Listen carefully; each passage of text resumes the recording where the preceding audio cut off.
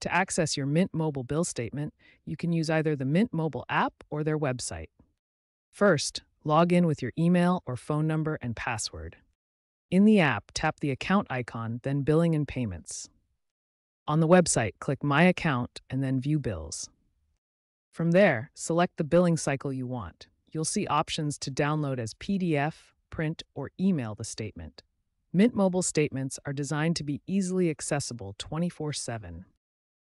Once you've selected your billing cycle, choose your preferred method. To download, simply save the statement as a securely encrypted PDF. To print, use your device's printer or export the PDF to a cloud service like Google Drive. For emailing, enter the recipient's email address. This is useful for tax purposes or sharing with an accountant.